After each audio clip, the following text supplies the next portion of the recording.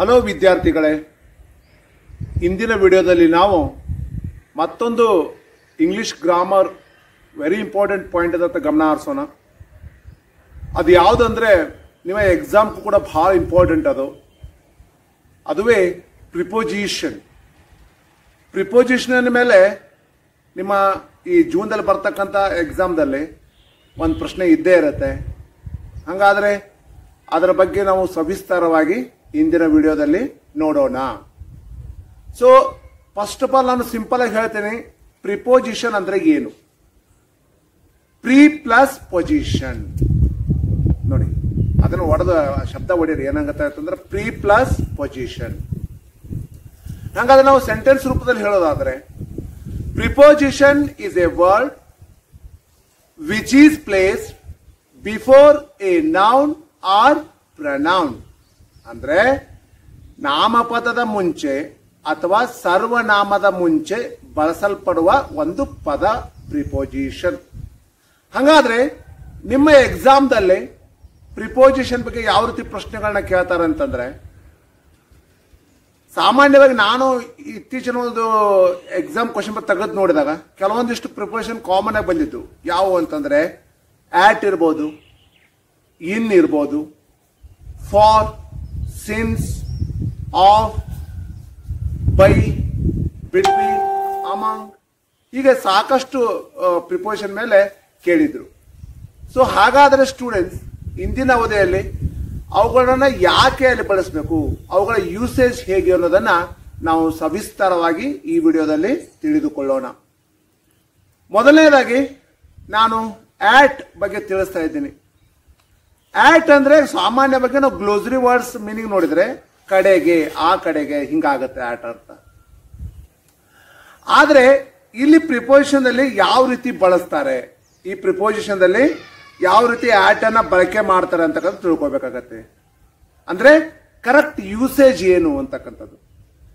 ನೋಡಿ, ನಾವು ಪ್ಲೇಸ್ ಬಗ್ಗೆ ಮಾತಾಡ್ತಿದ್ದೀವಿ ಅಂತಂದ್ರೆ, ಅಲ್ಲಿ ಆಟ್ ಅನ್ನು ಬಳಸ್ತಾರೆ, ಮತ್ತೆ ಇನ್ನನ್ನು ಬಳಸ್ತಾರೆ. ಹೇಗೆ ಅಂತಂದ್ರೆ, ನಾನು ಪ್ರೀವಿಯಸ್ ವಿಡಿಯೋದಲ್ಲಿ ಕೂಡ ಒಂದು ಉದಾಹರಣೆಯನ್ನು ತೆಗೆದುಕೊಂಡು ಹೇಳಿದ್ದೇನೆ ಕ್ವಶನ್ ಪೇಪರ್ ಬಂದಂಥದ್ದು ಇಲ್ಲೇ ಒಂದು ನಾನು ಹೇಳ್ತೀನಿ ನೋಡಿ.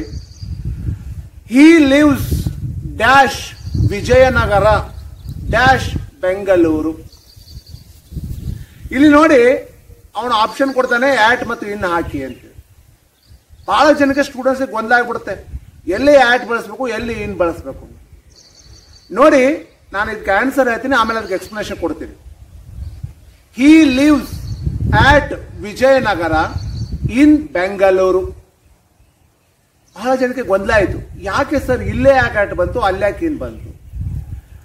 ಪ್ಲೇಸ್ ವಿಷಯ ಮಾತಾಡ್ತಕ್ಕಂಥ ಸಂದರ್ಭದಲ್ಲಿ at represents smaller locality smaller locality ಅಂದ್ರೆ ಏನು? ಚಿಕ್ಕ ಚಿಕ್ಕ ಪ್ಲೇಸ್ಗಳು ಇರ್ತಾವಲ್ವಾ ಅವುಗಳ ಬಗ್ಗೆ ಮಾತಾಡ್ತಾ ಇದ್ದೀವಿ ಅಂತಂದ್ರೆ ಅಲ್ಲಿ ನಾವು ಆಟ್ ಅನ್ನ ಬಳಸಬೇಕಾಗುತ್ತೆ. ಒಂದು ಎರಡನೇದು ಏನು ಅಂತಂದ್ರೆ ಇನ್ ಬಗ್ಗೆ ಹೇಳ್ತೀನಿ ನೋಡಿ.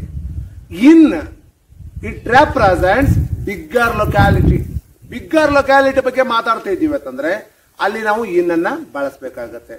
ಅದಕ್ಕಾಗಿ ನಾವು ಏನ್ ಬರ್ತೀವಿ ಈ lives at Vijayanagar in Bengaluru ಹೌದಲ್ವಾ? ಬೆಂಗಳೂರು ಕಂಪೇರ್ ಮಾಡಿದ್ರೆ ವಿಜಯನಗರ ಸ್ಮಾಲರ್ ಲೊಕ್ಯಾಲಿಟಿ ಅದಕ್ಕಾಗಿ ನಾವು ಅಲ್ಲಿ ಆಟ್ ಬಳಸಿದ್ದು. ಈಗ ವಿಜಯನಗರ ಕಂಪೇರ್ ಮಾಡಿದ್ರೆ ಬೆಂಗಳೂರು ಬಿಗ್ಗರ್ ಲೊಕ್ಯಾಲಿಟಿ ಇದೆ. ಸೊ ಅದಕ್ಕೆ ನಾವು ಅಲ್ಲಿ ಏನ್ ಬಳಸಿದೀವಿ? ಇನ್ನನ್ನ ಬಳಸಿದೀವಿ. ಸೊ ಈ ರೀತಿ ಪ್ಲೇಸ್ ವಿಷಯ ಬಂದಾಗ ನಿಮ್ಗೆ ಎಕ್ಸಾಮ್ದಲ್ಲಿ ಏನಾದರೂ ಆಟ್ ಮತ್ತು ಇನ್ ಬಳಸ್ತೀರಿ ಅಂತ ಕೇಳಿದ್ರೆ, ನೀವು ಸ್ಮಾಲರ್ ಲೊಕ್ಯಾಲಿಟಿಗೆ ಆಟ್ ಅಂತ ಬರಿಬೇಕು ಬಿಗ್ಗರ್ ಲೊಕ್ಯಾಲಿಟಿಗೆ ಇನ್ ಅಂತ ಬರಿಬೇಕಾಗತ್ತೆ. ಇದು ಒಂದು. ಇನ್ನು ಆಟ್ ಮತ್ತು ಇನ್ ಅನ್ನ ಟೈಮ್ ಇಶ್ಯೂ ಆಗಿ ಯಾವ ರೀತಿ ಬಳಸಬೇಕು? ನಾವು ಟೈಮ್ ಬಗ್ಗೆ ಬಂದಾಗ ಟೈಮ್ ಬಗ್ಗೆ ಬಂದಾಗ ಸಾಕಷ್ಟು ನಿಮಗೆ ಎಕ್ಸಾಮ್ದಲ್ಲಿ ಪ್ರಶ್ನೆಗಳನ್ನ ಕೇಳಿದ್ದಾರೆ. ನೋಡ್ರಿ at it is used before a definite point of time ಏನ್ ಹಿಂಗಂದ್ರೆ ಒಂದು ನಿಗದಿತ ಸಮಯದ ಬಗ್ಗೆ ಮಾತಾಡ್ತಾ ಇದ್ದೀವಿ ಅಂತಂದ್ರೆ, ಅಲ್ಲಿ ಆಟ್ ಅನ್ನ ಬಳಕೆ ಮಾಡಬೇಕಾಗತ್ತೆ. ಸರ್ ಹ್ಯಾಗ್ ಸರ್ ಇದನ್ನ ಅರ್ಥ ಮಾಡ್ಕೊಳ್ಳೋದು? At six o'clock at six P M ನೋಡಿ, ಇಲ್ಲಿ ನಾವು ನಿಗದಿತ ಸಮಯದ ಬಗ್ಗೆ ಹೇಳ್ತಾ ಇದ್ದೀವಿ. ಆರು ಗಂಟೆ ಅಂತ ನಿಗದಿತ ಸಮಯ ಅದು. ಆಟ್ ಸನ್ಸೆಟ್ ಅಂದ್ರೆ ಸೂರ್ಯಾಸ್ತ. ಆಟ್ ಸನ್ರೈಸ್ ಸೂರ್ಯೋದಯ. At the lunch hour at the dinner ನೋಡಿ, ಎಲ್ಲ ಏನು ಅಂತಂದ್ರೆ ನಿಗದಿತ ಟೈಮ್ಗಳಿವೆಲ್ಲ ಸೊ ನಾನು ಅದಕ್ಕೆ ಹೇಳಿದ್ದು, ನಿಗದಿತ ಸಮಯಗಳ ಬಗ್ಗೆ ಮಾತಾಡ್ತಾ ಇದ್ದೀವಿ ಅಂದ್ರೆ whenever we talk about particular time that time we use at ಅಲ್ಲಿ ನಾವು ಆಟ್ ಅನ್ನ ಬಳಸ್ತೀವಿ ಅಂತಕ್ಕಂಥದ್ದು. ಆಮೇಲೆ ಇನ್ ಅನ್ನ ಎಲ್ಲಿ ಬಳಸ್ತಾರೆ ಅಂತಂದ್ರೆ in is used before a period of time in ಅವಧಿ ಸೂಚಕವಾಗಿ ಇನ್ ಅನ್ನ ಬಳಸ್ತಾ ಇದ್ದಾರೆ. ಹೇಗ್ರಿ ಸರ್ ಇದನ್ನ ಅರ್ಥ ಮಾಡ್ಕೊಳ್ಳೋದು ಅಂತಂದ್ರೆ in a day in a day ಅಂತಂದ್ರೇನು ಆ ದಿನದಲ್ಲಿ ಒಂದು ಟೈಮ್ ಯಾವಾಗ? ಇನ್ ಎ ಡೇ ಆಮೇಲೆ ಇನ್ನೇ ಮಂತ್ ತಿಂಗಳಲ್ಲಿ ಒಂದು ಸಲ ಇನ್ನೇ ಮಂತ್ ಅದು ಯಾವುದೋ ಒಂದು ಟೈಮ್ ಸೊ ಈ ರೀತಿ. ಹಾಗಾದ್ರೆ ಇದಕ್ಕೊಂದು ಸೆಂಟೆನ್ಸ್ ರೂಪದಲ್ಲಿ ನೋಡೋದಾದ್ರೆ ಹಿ ಕಂಪ್ಲೀಟೆಡ್ ಹೀಸ್ ವರ್ಕ್ ನೋಡಿ, ನಾ ರಿಪೀಟ್ ಮಾಡ್ತೀನಿ. He completed his work in a year ಅವನು ಒಂದು ವರ್ಷದೊಳಗೆ ಆ ಕೆಲಸವನ್ನ ಮುಗಿಸಿದ. ವರ್ಷದಲ್ಲಿ. ಅದಕ್ಕೆ ನಾನು ಹೇಳೋದು in represents period of time at represents definite point of time ಇದು ನೀವು ತಿಳ್ಕೊಳ್ಬೇಕಾಗತ್ತೆ. ಸೊ ಇದು ಒಂದು ಅಂಶ. ಇನ್ನ ಎರಡನೇದೇನು ಅಂತಂದ್ರೆ ಬೈ ಮತ್ತು ವಿತ್ ಬೈ ಮತ್ತು ವಿತ್ ಬೈ ಅಂದ್ರೆ it is use to express the agent it is use to express the agent ಅಂದ್ರೆ ಏನು ಇದು ಇದನ್ನ ಮಾಡ್ತಕ್ಕಂಥ ವ್ಯಕ್ತಿಯನ್ನ ಸೂಚಿಸಲು ಇದನ್ನ ಬಳಸ್ತಾರೆ ಬೈ ಅಂತಕ್ಕಂಥದ್ದು. ಹಾಗೆ? ಸರ್, ಇದನ್ನ ಹೇಗೆ ಅರ್ಥ ಮಾಡ್ಕೊಳ್ಬೇಕು ಬೈ ಅಂತಂದ್ರೆ, ಒಂದು ಎಕ್ಸಾಂಪಲ್ ಹೇಳಿದ್ರೆ ನಿಮ್ಗೆ ಕ್ಲಿಯರ್ ಆಗುತ್ತೆ. ಏನು ಅಂತಂದ್ರೆ this shirt is stitched by tailor this shirt is stitched by tailor ಅಂದ್ರೆ ಬೈ ಅಂದ್ರೆ ನೀವು ಕನ್ನಡ ಅರ್ಥ ಮಾಡ್ಕೊರಿ, ಯಾರಿಂದ? ನೋಡಿ, ಯಾರಿಂದ ಅಂತ ಅರ್ಥ ಆಗತ್ತೆ ಯಾರಿಂದ ಅಂದ್ರೆ ಟೇಲರ್ದಿಂದ ಈ ಬಟ್ಟೆಯನ್ನ ಇದು ಹೊಲಿಯಲ್ಪಟ್ಟಿತ್ತು ಅಂತ ಅರ್ಥ. ಸೊ ಈ ರೀತಿ ಬೈಯನ್ನ ಬಳಸಬಹುದು ಅಂತಕ್ಕಂಥದ್ದು. ಸೊ ಈ ರೀತಿ, ಆಮೇಲೆ ಏನಂತ the garland is made by a flower girl ಅಂದ್ರೆ, ಹೂ ಮಾರುವ ಹುಡುಗಿಯಿಂದ ಮಾಲೆಯು ಮಾಡಲ್ಪಟ್ಟಿತು. ಹೂ ಮಾಲೆ ನೋಡಿದಾರಲ್ವ ಗಾರ್ಲ್ಯಾಂಡ್ ಸೊ ಈ ರೀತಿ ಏನು ಅಂತಂದ್ರೆ, ನಾವು ಬೈಯನ್ನ ಬಳಸಬೇಕಾಗತ್ತೆ. ಇನ್ನ ವಿತ್ ವಿತ್ ಬಗ್ಗೆ ಹೇಳಬೇಕಾದ್ರೆ it relates to the instrument with which the action is done ಅರ್ಥ ಏನು? ಇದನ್ನ ಉಪಕರಣ ಸಾಧನ ಸೂಚಿಸಲು ಬಳಸುತ್ತಾರೆ.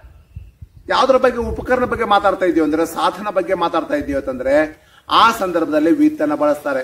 ಸರ್ ಹ್ಯಾಕ್ ಸರ್ ಇದನ್ನ ಅರ್ಥ ಮಾಡ್ಕೊಳ್ಳೋದು ಅಂತಂದ್ರೆ, ನೋಡಿ it is written with a ball pen ನೋಡಿ ಬಾಲ್ ಪೆನ್ ಅಂತಕ್ಕಂಥದ್ದು ವಿಚ್ ಇಸ್ ಅನ್ ಇನ್ಸ್ಟ್ರೂಮೆಂಟ್ ಹೌದಲ್ವಾ with a ball pen, with ಅಂತಕ್ಕಂಥದ್ದಲ್ಲಿ ಇನ್ಸ್ಟ್ರೂ ಇಲ್ಲಿ ಇನ್ಸ್ಟ್ರೂಮೆಂಟ್ ಸಂಬಂಧದಲ್ಲಿ. ಬಾಲ್ ಪೆನ್ ಒಂದು ಇನ್ಸ್ಟ್ರೂಮೆಂಟ್ ಅಲ್ವಾ? ಸೊ ಅದಕ್ಕೆ ನಾವಿಲ್ಲಿ ವಿತ್ ಅನ್ನು ಬಳಸಿದೀವಿ ಅಂದ್ರೆ ಇದು ಬಾಲ್ ಪೆನ್ನಿಂದ ಬರೆಯಲ್ಪಟ್ಟಿದೆ ಅಂತ ಅರ್ಥ, ಅದರ ಅರ್ಥ. ಆಮೇಲೆ the wood is cut with an axe ಇಲ್ಲಿ ಕೂಡ ನೋಡಿ ಆಕ್ಸ್ ಅಂತಕ್ಕಂಥ ವಿಚ್ ಇಸ್ ಅನ್ ಇನ್ಸ್ಟ್ರೂಮೆಂಟ್ ಹೌದಲ್ವಾ? ಸೊ ಅಂದ್ರೆ ಕೊಡಲಿಯಿಂದ ಕಟ್ಟಿಗೆಯು ಕಡಿಯಲ್ಪಟ್ಟಿದೆ ಅಂತಕ್ಕಂಥದ್ದು. ಈ ರೀತಿ ನಾವು ಬರೀಬೇಕಾಗತ್ತೆ.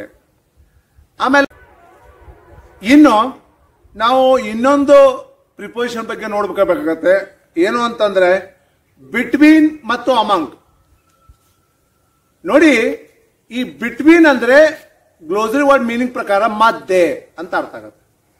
ಅಮಂಗ್ ಅಂದ್ರೂ ಮಧ್ಯೆನೆ. ಆದ್ರೆ, ಇಲ್ಲಿ ಸ್ಲೈಟ್ ಡಿಫ್ರೆನ್ಸ್ ಇದೆ ಎರಡೂ ವರ್ಡ್ಗೆ ಏನು ಅನ್ನೋದು ನಾ ಹೇಳ್ತೀನಿ ನೋಡಿ. ಬಿಟ್ವೀನ್ ಅಂದ್ರೆ ಎರಡು ಜನರ ಮಧ್ಯೆ, ಎರಡು ವ್ಯಕ್ತಿಗಳ ಮಧ್ಯೆ. ಅಮಂಗ್ ಅಂದ್ರೆ ಎರಡಕ್ಕಿಂತ ಹೆಚ್ಚು. ಎಷ್ಟು ಬೇಕಾಗ್ತಿರಬಹುದು? ಹಾಗಾದ್ರೆ ಯಾವ ರೀತಿ ಅರ್ಥ ಮಾಡ್ಕೋಬೇಕಿದನ್ನ ಅಂತಂದ್ರೆ, ನೋಡಿ. Between is used with two persons or things ನಾ ಹೇಳಿದೆ, ಎರಡು ವ್ಯಕ್ತಿಗಳ ಬಗ್ಗೆ ಇರೋದು ಎರಡು ವಸ್ತುಗಳ ಮಧ್ಯೆ ಇರ್ಬೋದು. ಒಂದು ಆಮೇಲೆ among is used with more than two persons or things ಎರಡಕ್ಕಿಂತ ಹೆಚ್ಚು ಇದ್ರಂತಂದ್ರೆ ಅಲ್ಲಿ ನಾವು ಅಮಂಗತ ಬಳಸ್ತೀವಿ. ಎಷ್ಟು ಬೇಕಾಟ್ ಇರ್ಬೋದು ಭಾಳ ಎಷ್ಟು ಲಿಮಿಟ್ ಹಂಗೇನಿಲ್ಲ. ಎಷ್ಟು ಬೇಕಾದಷ್ಟು ಇರ್ಬೋದು ಅದು ಎರಡಕ್ಕಿಂತ ಹೆಚ್ಚು ಹುಡುಕೊಟ್ಟು ಹಂಗಾದ್ರೆ ಒಂದು ಎಕ್ಸಾಂಪಲ್ ನಾವು ನೋಡ್ಬೇಕಾದ್ರೆ ಬಿಟ್ವೀನ್ ಯಾವ್ದು ಎಕ್ಸಾಂಪಲ್ ನೋಡ್ಬೋದು ಅಂತಂದ್ರೆ, ಚಿನ್ನು ಸಾರಿ ಚಿನ್ನು ಈ standing between Chakori and Mayuri ನೋಡಿ, ಚಿನ್ನು ಈ standing between Chakori and Mayuri ಅಂದ್ರೆ ಇಬ್ಬರ ಮಧ್ಯೆ ಚಿನ್ನು ನಿಂತಿದ್ದಾನೆ. ಹೌದಲ್ವಾ? ಸೊ ಈ ರೀತಿ. ಅಂದ್ರೆ ನಾನು ನಾನು ಈಗ ತಾನೇ ಹೇಳಿದೆ, ಇಬ್ಬರ ಮಧ್ಯೆ ಅಂತ. ಇನ್ನೊಂದು, ವಸ್ತುಗಳ ಬಗ್ಗೆ ಮಾತಾಡೋಣ.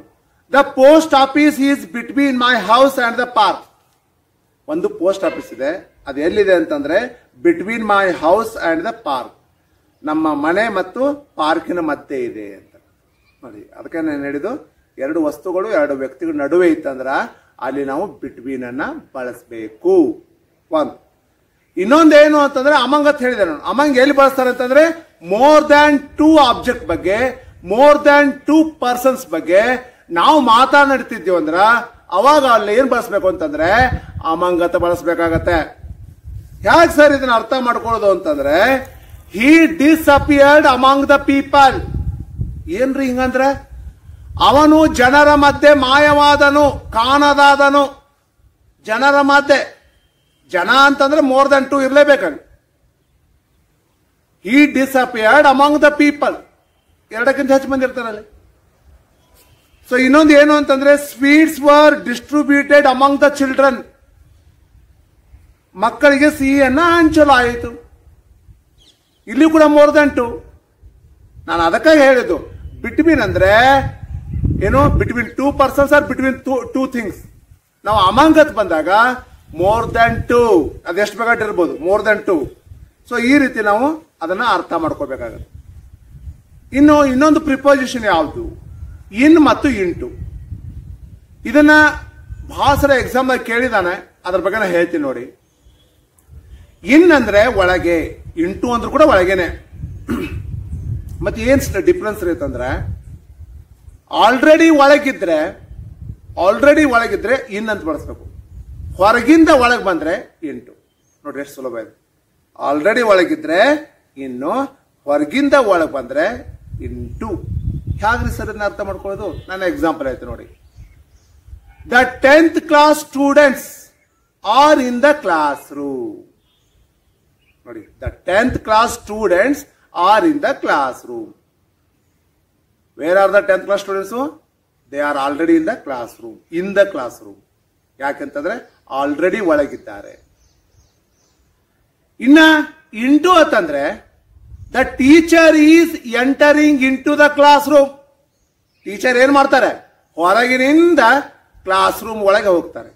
ನೋಡಿ the teacher is entering into the classroom ಅದಕ್ಕೆ ಹೇಳಿದು movement or motion towards the inside ಹೊರಗಿನಿಂದ ಒಳಗೆ. ಅವಾಗ ನಾವು ಇಂಟುವನ್ನ ಬಳಸಬೇಕು ಅಂತ. He jumped into the river ನೋಡಿ ಇನ್ನೊಂದು example he jumped into the river ಅಂದ್ರೆ ಹೊರಗಿನಿಂದ ಒಳಗೆ. The fish are already in the pond the fish are already in the river already ಒಳಗದ so this is the slight difference between in and into ಹೀಗೆ ಆ, ಸಾಕಷ್ಟು ಪ್ರಿಪೋಸಿಷನ್ಗಳು ಇನ್ನೂ ಚರ್ಚೆ ಮಾಡೋ ಬಾಕಿ ಇದಾವೆ. ಅವುಗಳನ್ನು ಮತ್ತೆ ನಾನು ನಾಳಿನ ವಿಡಿಯೋದಲ್ಲಿ ಮುಂದುವರಿಸಲಿದ್ದೇನೆ. ಹಾಗಾಗಿ ಈ ವಿಡಿಯೋ ಇಷ್ಟ ಆಗಿದ್ರೆ ಲೈಕ್ ಮಾಡಿ, ಶೇರ್ ಮಾಡಿ ಮತ್ತು ಸಬ್ಸ್ಕ್ರೈಬ್ ಮಾಡಬೇಕು. ಮತ್ತೆ ನಾಳಿನ ವಿಡಿಯೋದಲ್ಲಿ ಮತ್ತೆ ಮುಂದುವರೆದ ಭಾಗವನ್ನು ನೋಡೋಣ. ಧನ್ಯವಾದಗಳು.